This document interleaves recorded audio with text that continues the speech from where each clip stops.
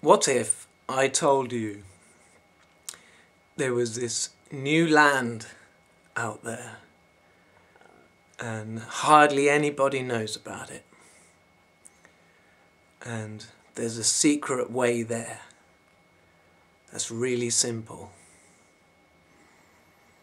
And you can go to this land and you can have thousands of more different types of experiences. Just, or millions, just experiences that are currently inconceivable. And it's there for everyone. There's room for everyone. Well, that is true. And is what I've been talking about for the last four years or so, or more. And that's the way to get there is to sit and meditate and go within.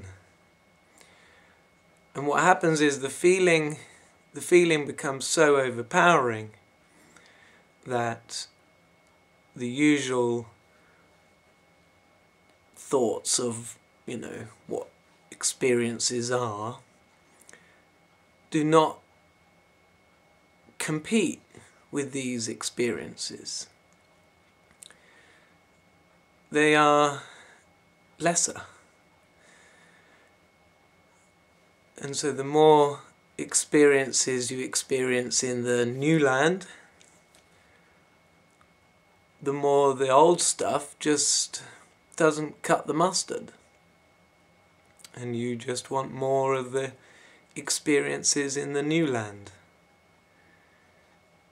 And that is the truest realm of your being. You, an individual within the concept of time and love.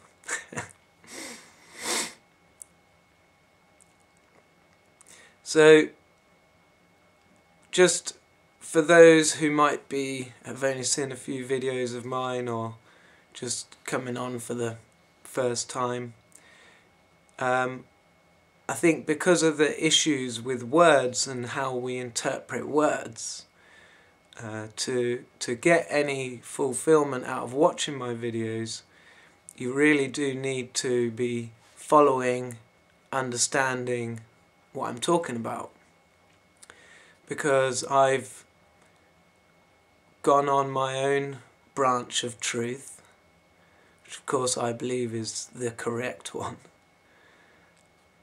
And there aren't there are other people saying similar things and slightly different things and you know there is a a growing consensus towards a singular truth but we're not there yet so to understand what I'm talking about um, you would have to go back I re- I think to the start, um, you know, if I've ever really got interested in someone before and wanted to fully check out, I've fully checked them out. You know, I wanted to know. Well, probably I haven't done that with many, but um, with a couple I have.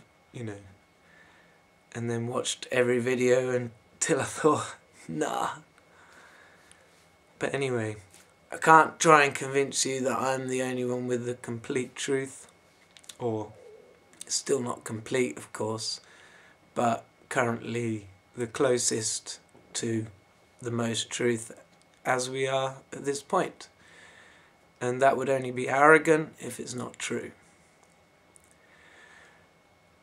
Right, so with that said, for the people who seem to be continually watching my videos, where there's 10 of you or 12. Um, I hope you're following, you know, what I've been discovering over the last year or so, and especially the most recent stuff. It's it's big stuff. The the lust error. I, I it's it's really working. Um, I haven't had, you know, when a, what would typically get me off onto a sort of sexual thoughts journey, you know, and ultimately it leads to that carnal desire, um, is getting nipped in the bud very quickly and not difficult at all, but a pleasure. It's like I'm coming out of an error. And that error is to assume that um, finding yourself presented with a, a yearning feeling that you have learnt and societal thinks the normal result to this yearning is to get sexual and carnal and knock one out. Um, whereas actually it's the yearning to be back with the feminine part of your the higher power, the creator. Because we that's our default position has been within our mother and we are that is a very very familiar thing and as soon as we're born we are in a sense disconnected when we exit the womb we are physically now disconnected and but at that time we could still feel Mother God. But gradually we went away from it. And that leads to, you know, not not good, right? It equals not good. And so as soon as you feel an inkling of being able to get back to that, which is the the correct way to be, um, you know, you're up for it. You're up for it. But because of the error, thinking, oh, I'm what I'm up for is um, is thinking about sex with someone, and then you do that and you go through with the motions, and then afterwards you feel this disappointment. This, well, was that it? Was that what I was hoping for? And so in the soul, it's like a it's a down thing. It's like you know, look sort of then guilt, you know, looking at yourself and the, what you've just done and thinking, you know, is this what I'm like? Because let's face it, when we were kids, we were much happier, right? So, and we didn't think about those sorts of things. So it's an error that's been drilled in over time. And uh, fixing the error, just, I love it. it on this journey when I've been able to remove so much error purely with a piece of truth. You know, I've taken on a piece of truth and it has improved my life in so many ways. And it, it's not hard then. You have that truth and it's not difficult. There's no difficulty in it. And that's also when you start, you know, each time this happens, you start to have the realization that the truth of everything is so much better than we've allowed ourselves to believe. So this is one of those examples that I'm not yearning for sex. I'm actually yearning for my my mother. This brings the whole Freud thing in. It's it's a confusion, and it's this is kind of triggering people a bit, you know, because there's places they don't want to go. Um, and they're sometimes exactly the places we need to go, you know. You know, why don't we want to? Is um, you know, there's a a list of things it could be. Um, yeah, I'm not going to go into that. It's going to be different for every individual, and every individual will, at some point, face one of these issues and it will be their time to deal with that and and sort that out on your specific journey. Um, right, so just sum up what I've just said. Um, our yearning is to be back with our mother, where we feel safe and comfort and and everything. And um, our mother certainly likes it too, you know. She doesn't want to see her children not disconnected, not knowing her in error. Um, and sorry, been a bit slow. And and we and we're confused and we put it into something else and we continually do it, still getting the same results, but uh, never coming to that satisfaction. You can fix this error just by thinking about this possibility, this truth, and and um, it will change your life for the better. So, for me, it's it's helping me connect to Mother God more. Um, and and my soulmate too. But I have talked about this in previous videos, so I apologise if I've repeated myself too much. I'll, I'll uh, try not to do that. But this is sort of an update video, very much sort of updating on things that I have mentioned before and stuff. Yeah. Um, I might as well mention it now. I've got a little list. Last error. Oh yeah. Uh, sorry. So as it's on the list.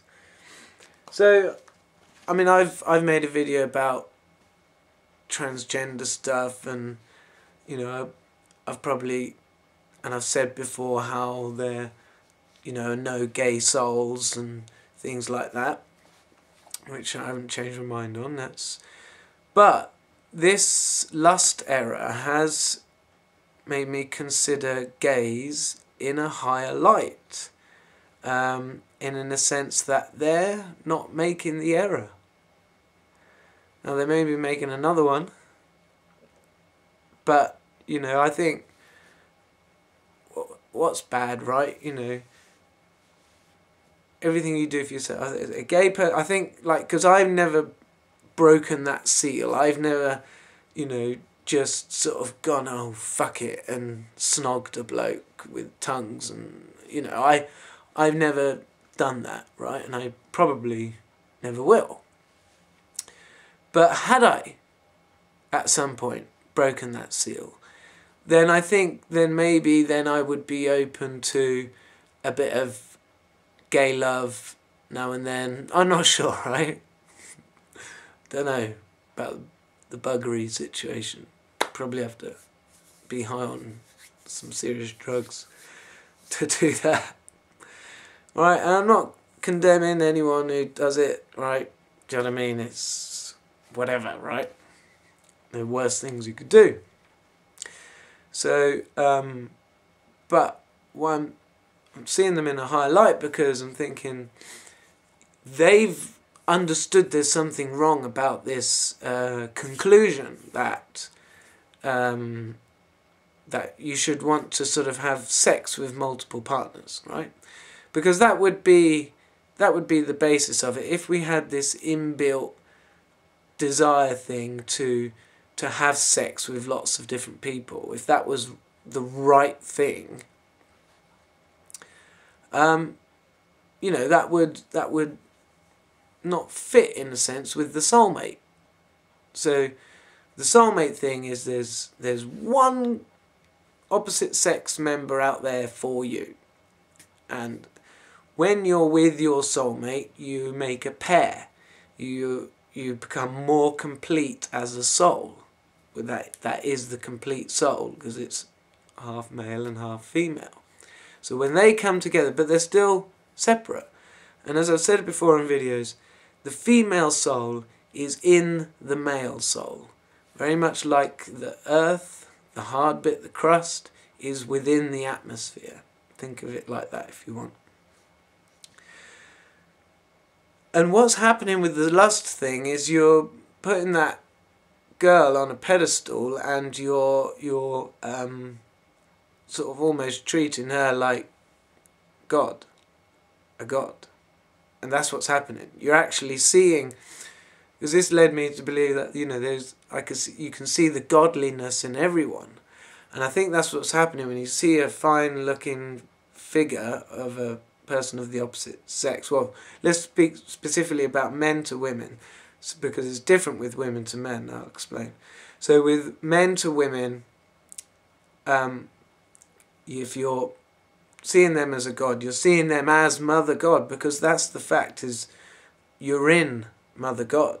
So just as the female soul is in the male soul, both then those souls are in Mother God, who's in Father God, and so on. So you're treating that woman like she's Mother God, and you, you know, you want to suck the nipple, and because that's where we got sustenance when we were a baby, and maybe you want to shove your head in between her legs, you know, in a sense, you almost want to get back in the womb. And there's something not quite natural about it, and obviously not all men treat the women like this, but a lot do, and probably more so. So there's something about that which is an error. The gays are not making that error. They're almost, whether what's happening is they're seeing the wrongness of it. So maybe they've still got a connection more to Mother God. So because since I've realized that, you know, straight away I'm I'm feeling Mother God and like I say the feelings overpower then. I could still think of a female form at that point and it and it wouldn't affect me in the same way. I would just see it as I'm seeing the godliness. I'm seeing the godliness that is comes through to everybody. God made us all. And we've all got that godliness coming in and in some ways it might show up in their in their physical form and in other ways it's deeper in somebody's personality. You know, you could probably say rule of thumb that the better looking you are, the more you still need that uh, that type of reassurance that you're okay. I could think it in a sense, you know, for to be in an ugly body from birth, say, or disabled or something, your soul would have to have some strength to be okay with that and live your life like that. So you, anyway, I'm not going to go there. Right, so gays aren't making the error. Now, the difference with women is that, okay, so what's the woman experiencing when the guy is treating her like Mother God? She's almost experiencing it like the love of a child, in a way, right? And so she's almost experiencing being that God. Now, when I was finding out my soulmate and everything, I, I never had the same lust for my soulmate. And as I was getting close to understanding the feelings for my soulmate, and I came to understand that my soulmate is within me, she's in there all the time, all the time. No lust, but when a, lo a loving connection would occasionally happen and it would be sexual but it was totally different to what I generally I say since the age of about 18 I started to look at women as being like yeah you know I'll be a dog rather than say a friend of mine who had loads of women and he never treated him like that. He was always like, you know, the man and everything, you know. But he treated him like shit and he never stuck with any of them. So, you know, it's. I haven't.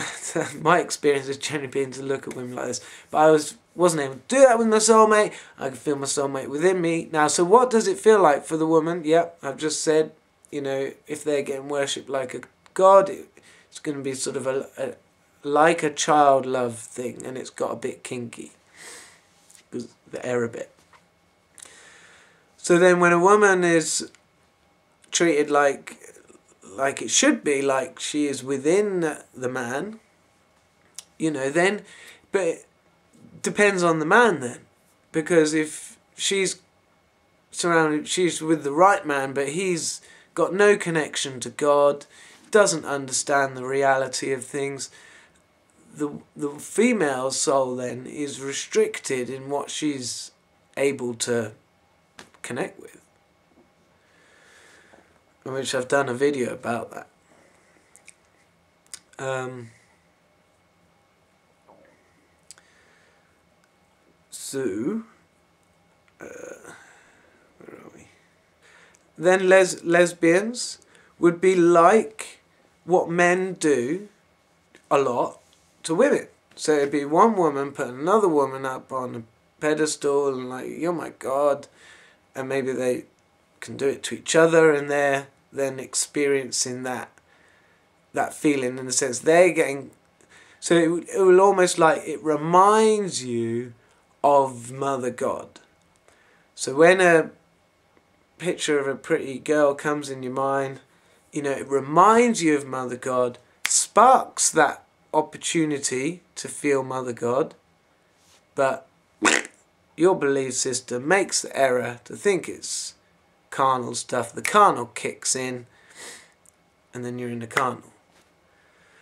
So next time I get a trigger that sparks off that reminder of Mother God, I'll feel Mother God. And that's what I've been doing. I hope that puts it in a, a nutshell. Right. Moving on. Well, I uh, keep saying my I think, you know, the the kicking into the carnal phase is like an inbuilt trick, and it's there by design, and it's to um, is to keep the population going. You know, is to keep people procreating. Uh, absolutely you know, meant to be there. We were meant to keep procreating so that we've got lives to come back to. It's like a trick, I think. Kind of phase. Okay, why don't I let that lead me on to this one? so, the more I've been learning about the soul, um, it got a little bit complicated. Um, because I was thinking, hang on a minute, like, my female part of my soul is in me, but also the one love is in me, and how are they both in me? And and yes, I've been thinking about it, and since I've been feeling examples, I get I'm more I'm more aware of how they are in a slightly different place, obviously different feelings. And what I've realized is that, you know, you can only really concentrate on one thing at a time properly. You know, where is your attention? And this is your intention, you know? So you, you've got to have your attention on something. So rather than sort of in my mind placing, oh, well, the the feeling when I get the one love is slightly higher up and it's more sort of there, and then she's like, you know, instead of that, I'm th- seeing it as phases, like a different phase. You could say dimension, but I want to say phase, and I'm gonna give an example of what it's like um, a, sim a simple one, just a simple analogy. So I'm here in my room, my attention is the room, Okay? And maybe a bit outside, you know, see the leaves on the window. Or my attention is in the video and and I'm talking to you in the future and there's my attention's on that. I could think about the nation, the UK, and then my attention will be on national things. So you see how it changes, and then my attention can be on the world, it could be on the galaxy, you know, it could be on the multi universes. So there are different phases of, you know, different levels of thinking. So in the soul, when you're feeling things of the soul, there's different phases. And, and last night, so I'll be defining these phases more, but there is a physical phase where we have a connection with God as well. And that that physical phase connection with God is the microbes we're connected to. We're basically made up of half of our mass is microbes. And, um, you know, so when I've been doing stuff before, uh, you know, when I first began in this, first began, the first sort of stuff I'd do is I'd uh, lay there and if I felt a tickle, say on my hand or something like that, you know, I'd just, I wouldn't scratch it, I'd just allow the tickle and, you know, that, so God is in total control of all the microbes that are with me all the time. God is in complete control of them. Right? Because the life force within them is, would be God's, like all the little animals and the creepies and crawlies. The life force is God. And um, yeah, so I, mean, I have thought of that before, and I probably have mentioned it, but like that is like that's like one phase you can get into is feeling these microbes and what they're telling you. And I'm also thinking that quite a lot of what I feel internally, what I perhaps have thought, well, is this a soul feeling then, is actually these microbes. Now, there's loads of feelings that I've had and the deeper ones are definitely not microbes. They are, they are a different phase, right? So I'll carry on with explaining it. So I could be, for example, so I could hear a truth and the microbes in my gut go, yeah, that's true, yeah, whoa, yeah, that's true, that is, because they know, because they're life force of God, right? Alternatively, it could hear a lie, and they're like, oh, there's a bloody lie, and you get that feeling, oh, this is a lie, he's lying, and that's going to be useful. No, because I mean, I always felt, you know, you can feel truth. Definitely knew you could feel truth, and I've had experiences, but in a sense, understanding that it's microbes and they're always there, right, always present.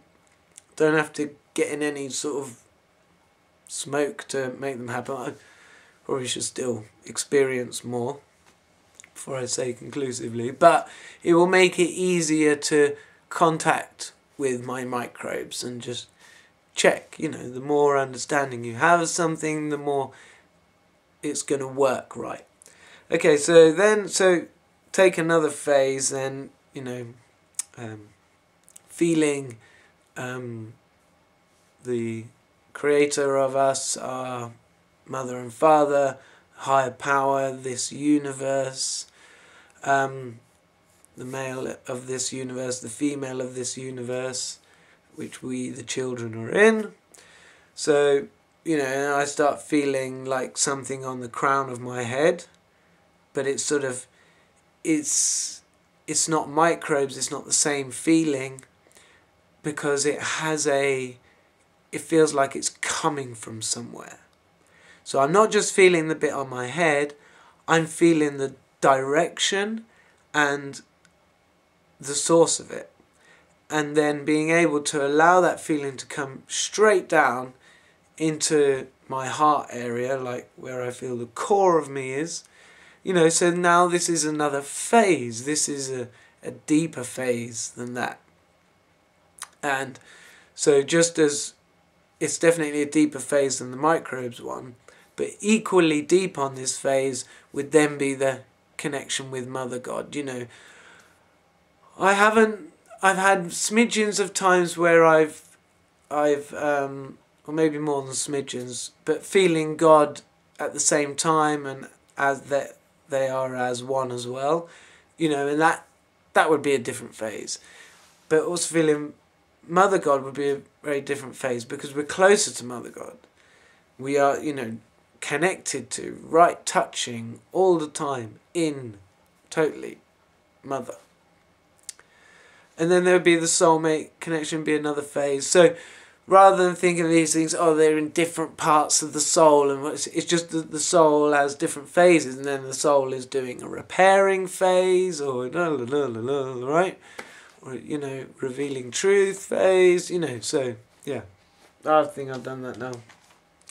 But, you know, this is just, yeah, because it, I've, it's had to be sort of to be able to sort of comprehend things and understand things, I've had to sort of broaden the uh, scope of the what I can visualize and everything else.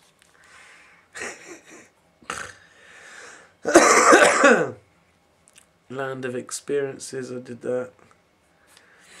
The beginning, soul phases. Uh, Alright, might as well say now. I can't remember when it was now probably about a week ago. I saw God for the first time. And it's. I saw the face of God for the first time. Now, I wouldn't say it was 100% clear. There's probably more definition to come. And it was definitely a woman's face. It was definitely Mother God. And it wasn't on a body, you know, it wasn't a head on a body. And it's it's come as a graduation of as I've been connecting with God and getting closer and closer. So when I started meditating with my eyes open, I was, uh, you know, I've been getting used to that. And I was seeing faces, and often it would be my soulmate's face, and sometimes I'd think, is this God's face or not? But is it? I'll, right, stay with me, right? So I've been meditating with my eyes open. I've had encounters where the perception of what is there can start changing and can barely see anything and then it's sort of like a it's definitely got a color tint to it like everything just appears to have this yellow tint or it could be a red tint even though I'm looking in the same direction same lighting and feeling Mother God. And so there was this one night and I was feeling it and I felt this like feeling that I've had all throughout my life every now and then. And I've actually called it Michelin Man, but sometimes it makes you feel like your arms and everything and your body is just really, really thin or not even there at all, barely. And because of this connection with Mother God getting stronger, I kind of thought, you know, is this like Mother God?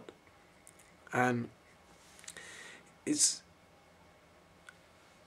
I'm st- I'm just still ninety nine point nine nine percent sure because there was something. It was a bit, you know, it was sort of quite unexpected. It wasn't like a, you know, I felt Mother God before with glorious feelings, and it's made me cry because, you know, you know, it's wonderful. You know, I've had those. So this wasn't like that. this wasn't, but this was more sort of a reality. And I almost got a sense of like, Mother God thinking, about doesn't like me. I'm just mentioning that. Anyway, the tint was red. And I felt like you know I was this thin everywhere and uh, totally, sort of completely consumed and in front of me and where I'd usually see my soulmate's face, let's say that big there, you know, God's face was that big and higher up. And I saw, and yes, it was sort of made up partly with the things on the wall. Like I think that picture, I don't know if you can see it, the one with the frame, was one of the eyes. Um, but one of the other eyes, which one of the eyes was a, a clear eye and one of the eye looked like a square and I think that was the picture in a sense. So that's why I say it wasn't full. But there was a, you know, area where nose would be in a mouth and like some when you see faces and stuff like that, you know, they often change. They often seem to have an expression which is you could say is meaningful or not. But yeah, it was to me. It was like that. That's that.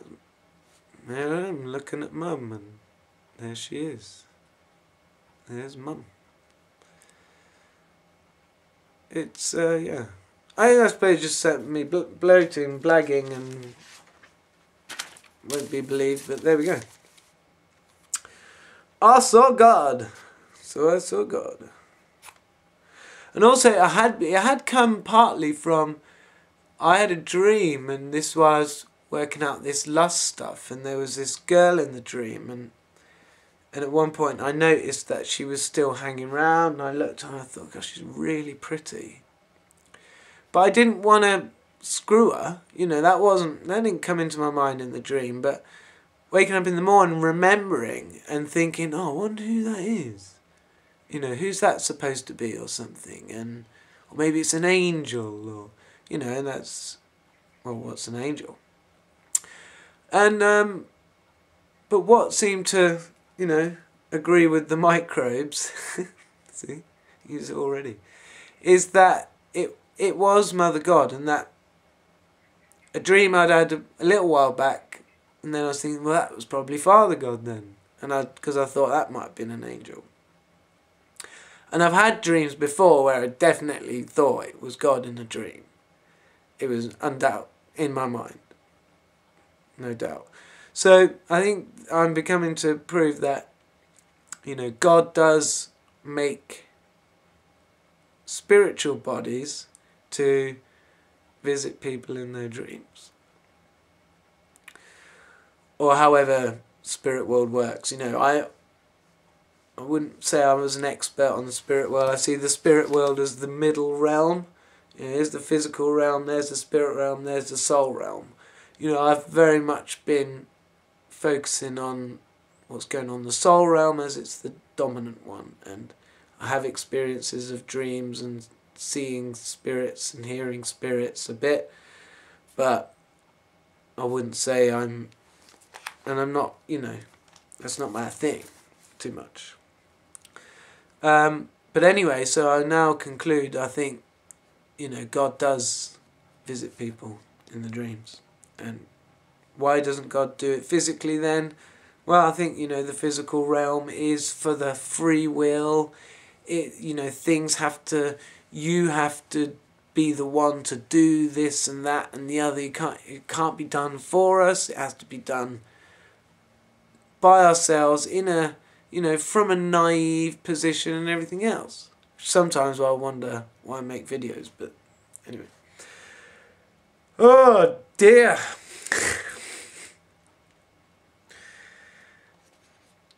There's a lot to talk about. I think, um, yeah, I'm sorry, it's going to have to be a long one. What's the time? 39 minutes, so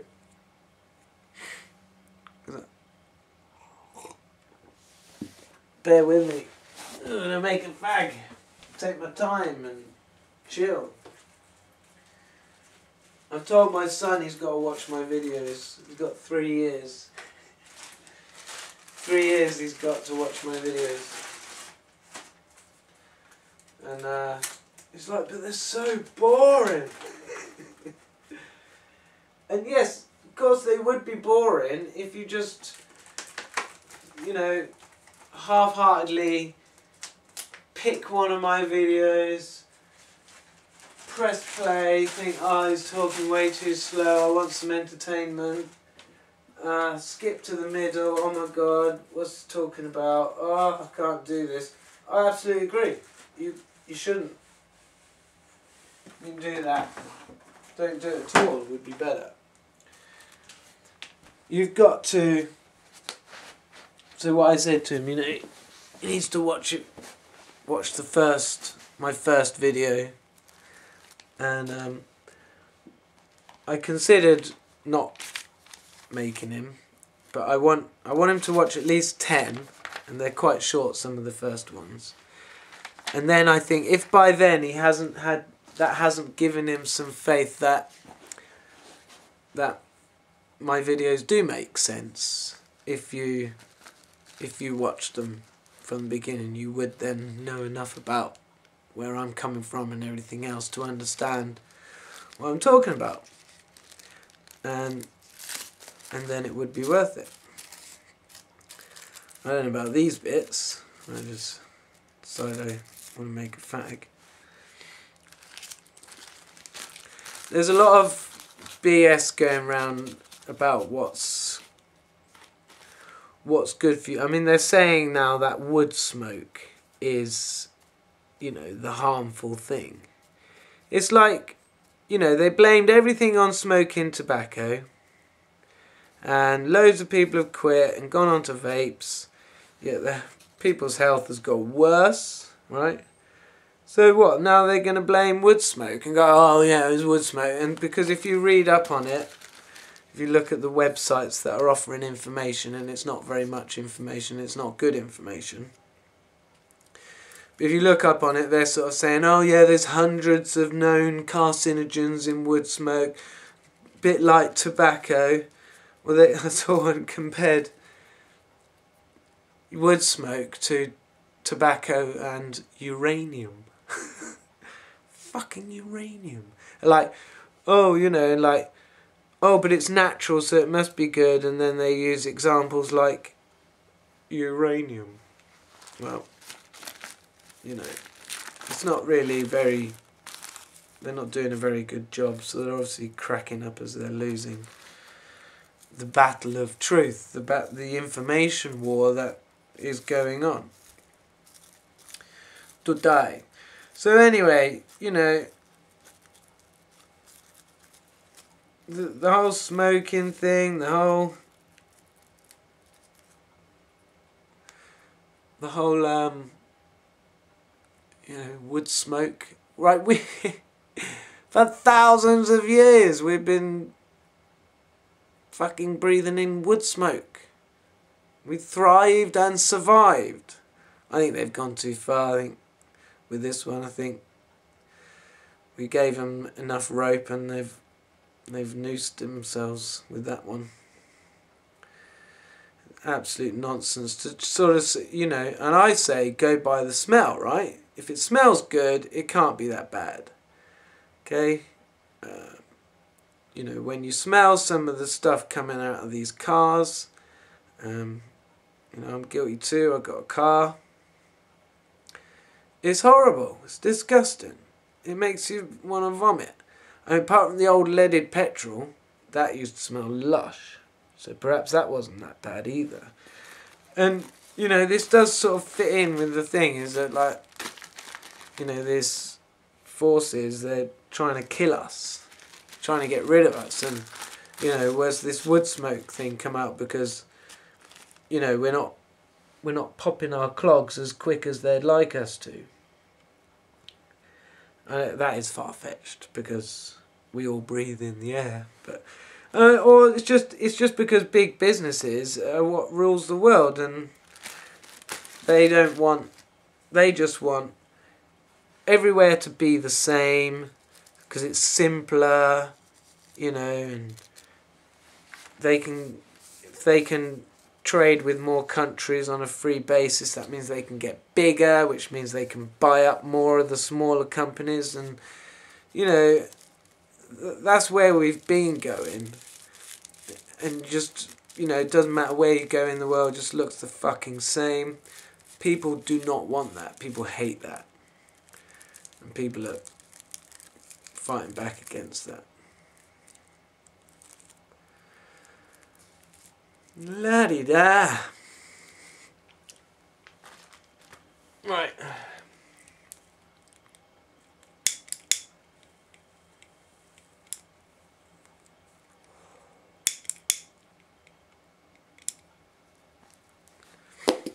You gotta be calm. Calm is good. Calm my son down. Uh,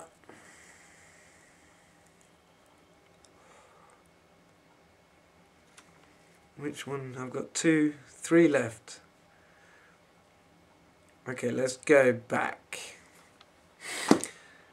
Um, so I've said before in previous videos that I think our souls are four billion years old and um, I was listening to science radio program the other day, Infinite Monkey Cage on Radio 4, and it was quite good actually. And they were talking about microbes, talking about earlier, and the point when they became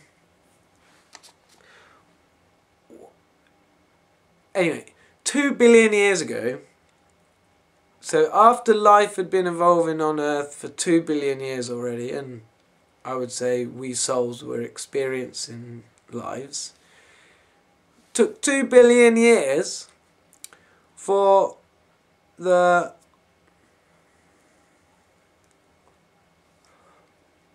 for the single cell organism to join together with another cell organism you could say one is the microbe and one is the host, for them to um, work together and operate and function successfully. But that it may have there may have been many, many, many, many attempts at this within that two billion years. And they don't know because they weren't they may have been successful for a little bit, but weren't successful. So it took two billion years for this once for this success to occur. So I was thinking about it, and like so, you know, there we were, these souls. Say we'd. It's hard to think what we would have been doing for a billion years, but if it was very, very basic stuff, you can perhaps accept that, and we wouldn't have had much awareness what was going on. Come down for a life, however long that lasts, back with God sort of thing. Um, so when this, so when we were trying to do this, in a sense, we were then experiencing a physical life connected with God, right? So say a billion and a half years later, one soul is living this life as a single cell organism and successfully takes on a a microbe which has got and it is then experiencing a physical life with God for the first time. And however long it worked out. Now that would have spread that that soul who was experiencing that would have affected all the other souls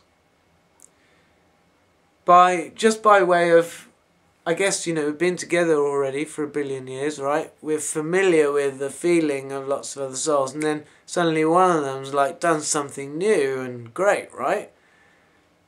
That would trans that would get connected to everyone. Everyone would know someone's done it. Someone's done it. And that would give them more belief that it could be done and blah blah blah. Two billion years in, somebody does it, and this time it's something which is successful and it's going to remain ever since then. That relationship has continued and flourished. So from the scientist's point of view, they think, oh, who's the real being? Is it the microbes or the host? You know, could be either, right? But from somebody who believes in God, it's quite plain. There is God with us all the time, helping us, guiding us. Right? And evolution happens during people's lives. Individuals e- evolve. And, you know, there's I really feel there's an evolving going on right now. Which actually does bring me to something I've been looking at. I just thought I wanted to check some old facts on the internet about uh, genes, you know, genetics, and these haplogroups. And I wanted to check the ages of them. So we've got E1B1 in North Africa, 26,000 years. People who thought to have this gene is Einstein and Hitler. G2A, Western Europe, can't read my own writing, India, North Africa, East Africa. This is an old one, 60 to 26,000 years. People have thought to have that. Stalin, Richard III. L1, Northern Europe, 27,000 years. Bill Clinton and Sting. L2, I think, is a mix between L1 and J1. So J1, Middle East, North Africa, South Europe, 13,000 years. So that's quite a new one. People have thought to have that. House of Saud, Dustin Hoffman. J2, Turkey and Greece, 15 to 22,000 years. So the J's, you know, they'll be similar in some ways. Rothschild, Adam Sandler. Again, newer genes than, than the other ones. R1A, Germany, Eastern Europe, Afghan, 19 to 26,000. It's quite old. People thought to have that. Nikola Tesla, Benjamin Netanyahu. R1B. Now, this is the one. Western Europe, Central Africa, North America. 10,000 years. This is the newest mutation. People who had that Abraham Lincoln and Che Guevara.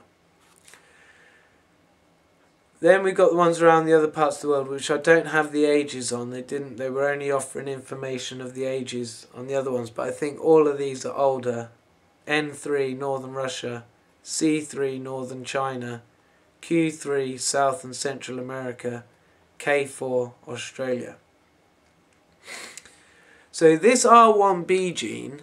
Now look, if an R1B then has sex with an L1 you know, what happens? Obviously, they get mixed together, right? So, I think God might have made it so that everybody has this something from this R1B.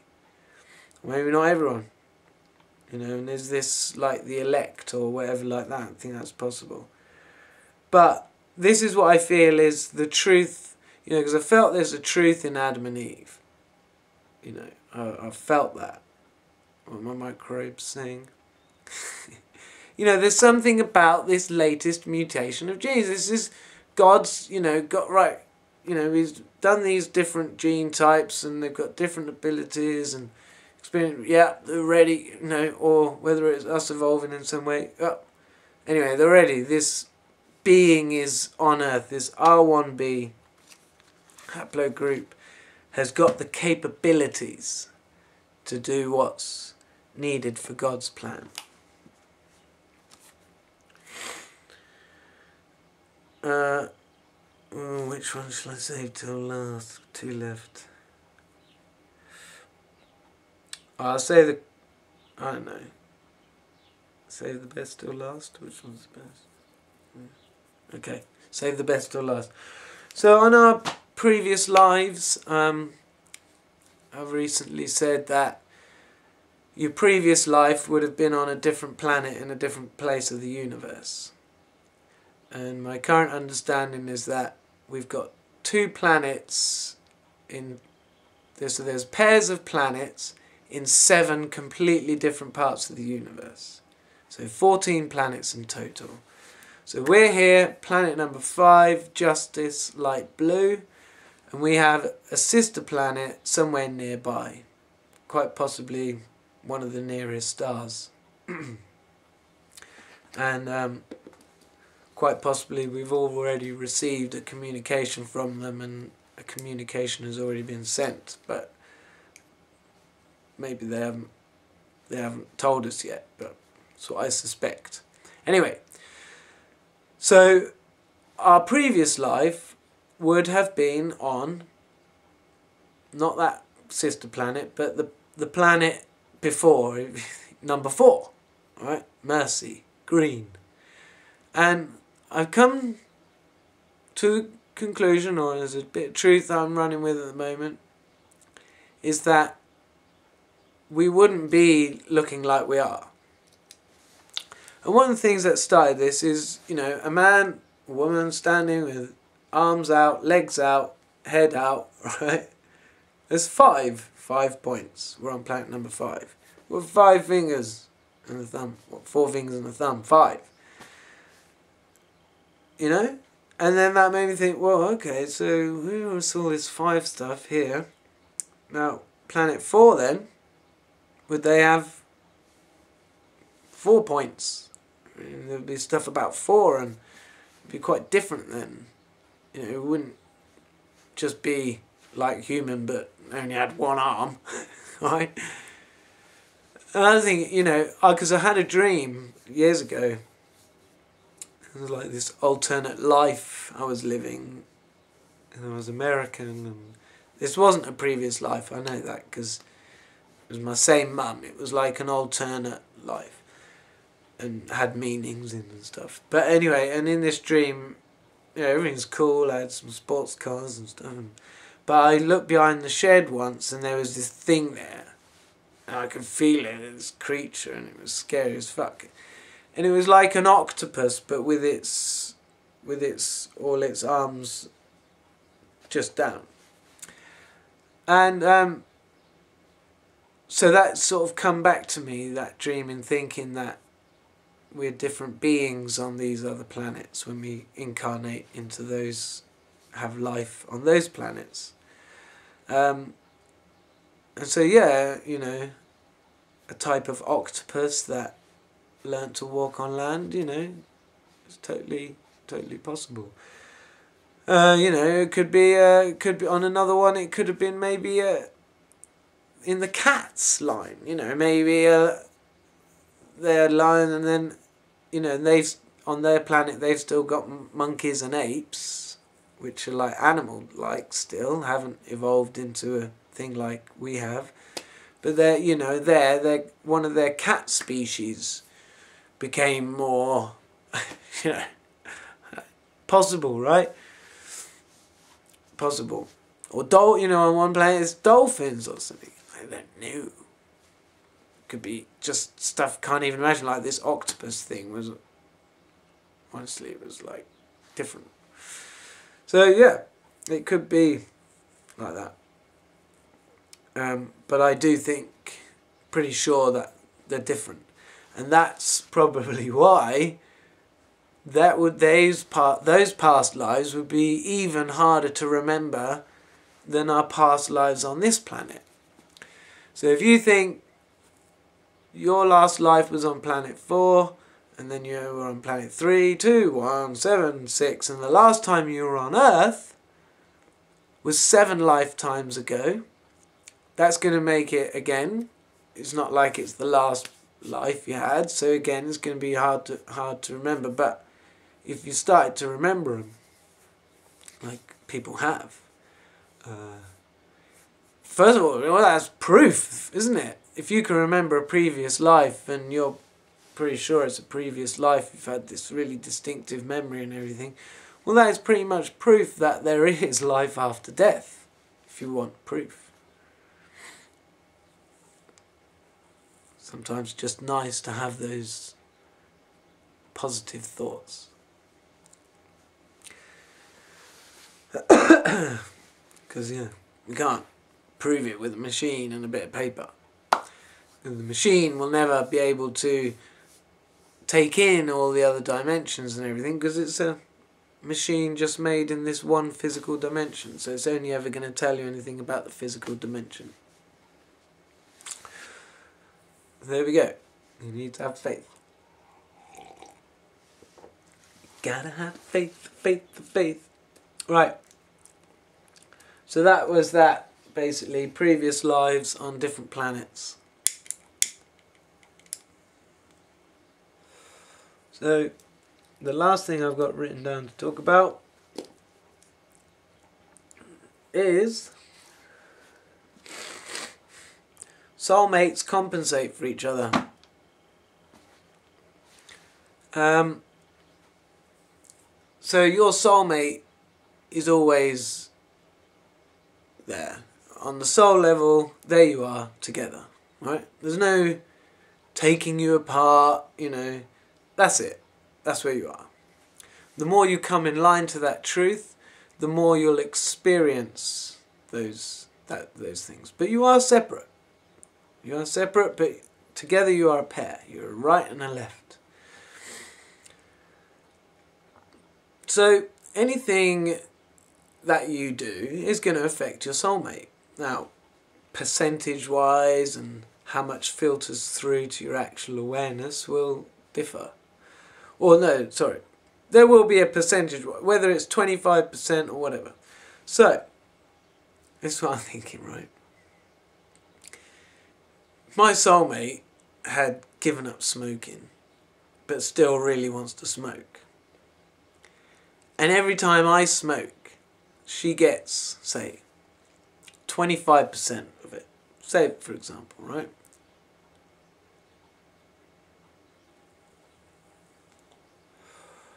You know, and uh, without even being aware of it, she gets used to that. You know, whether it's uh, a thing in the morning, thinking, you know, I should be feeling that nice feeling by now that I feel every day.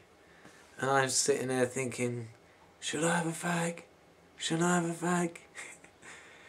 and my soul is like, where is this? Where is this daily thing that I get? See what I mean? I mean, it does looks and sounds like I'm trying to push over my inability to give up smoking somewhere else, but it's possibly true.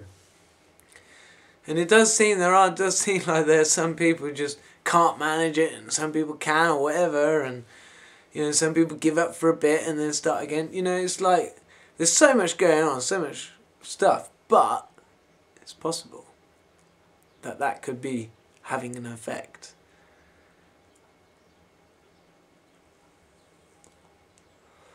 So the more knowledge, the better. So if this is true, and you don't know your soulmate, it's going to be difficult for you to have any idea what might be going on. But at least if you know who your soulmate is and you, you know what sort of habits they like and what they do and and it might start to make sense of how you yourself are functioning. And actually, yesterday when I was thinking this and feeling about this and I almost started to feel like a, a yearn for a cigarette came from not me. It wasn't me who at that point wanted one.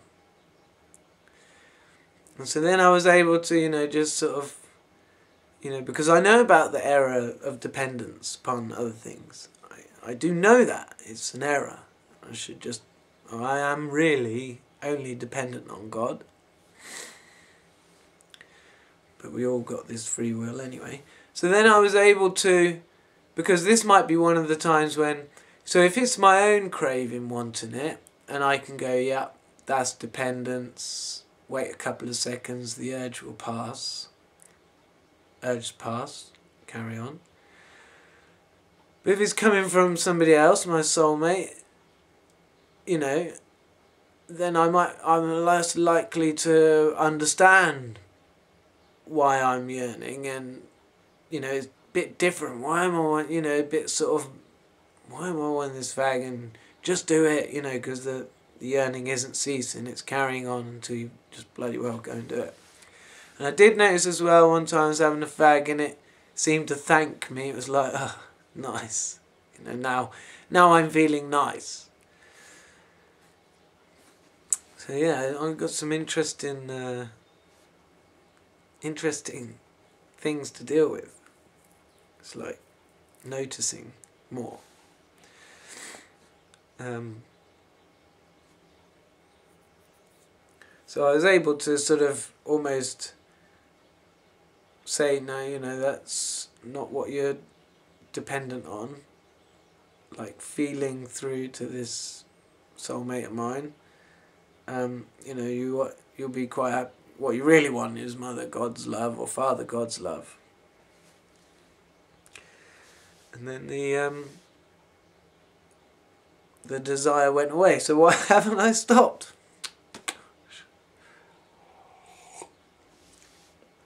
Got this whole thing about wood smoke at the moment. Yeah, I might have to stop soon. They're getting so expensive. It's ridiculous amount of tax. Right. So yeah, you know, and um, um,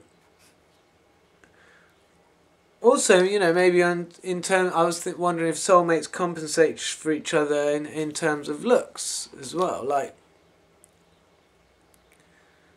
fuck it, who's watching this anyway?